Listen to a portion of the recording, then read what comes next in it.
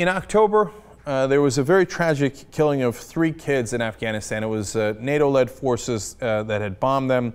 Um, Borjan was a kid that was 12 years old. Uh, Sardar Wali was 10, and Khan Bibi was just eight years old.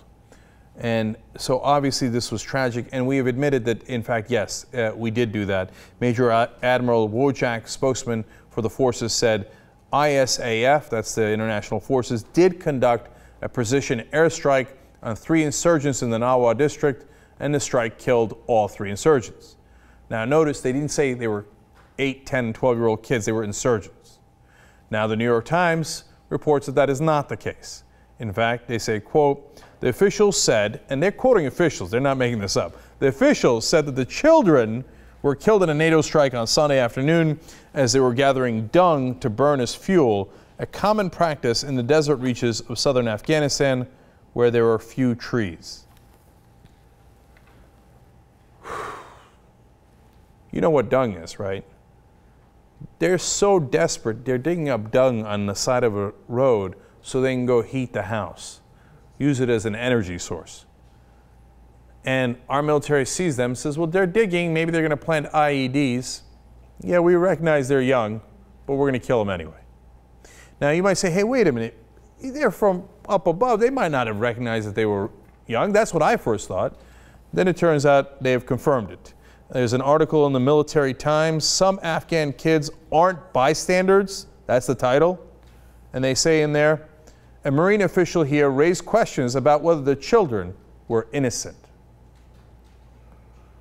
And then, if that wasn't bad enough, Lieutenant Colonel Marion Ked Carrington said, it kind of opens our aperture. In addition to looking for military age males, it's looking for children with potential hostile intent.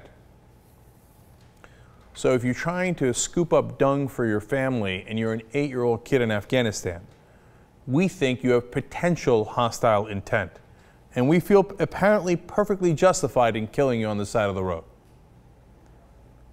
Witnesses said that they saw their limbs in different parts. Obviously, there was a bomb dropped on him, blood everywhere. Anybody got eight year old, a 10 year old, 12 year old? You have kids? And what do you think would happen if somebody did that to your kid and said, hey, you know, we're not even sorry about it?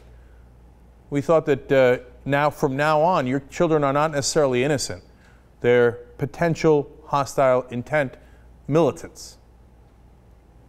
You think you might want to fight those guys? Maybe for the rest of time.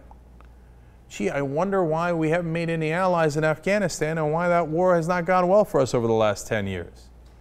But this kind of admissions, give him credit for being frank about it, but it is bone chilling. Is this what America has become? When we say, eh, eight year old, who cares? We're going to kill him anyway, just in case. But remember, Joe Scarborough had this figured out, you know. It, it's, they don't hate us for that. Joe, why do they hate us? They hate us because they hate us. They hate us because they hate us. They hate us because they hate us. They hate us because they hate us.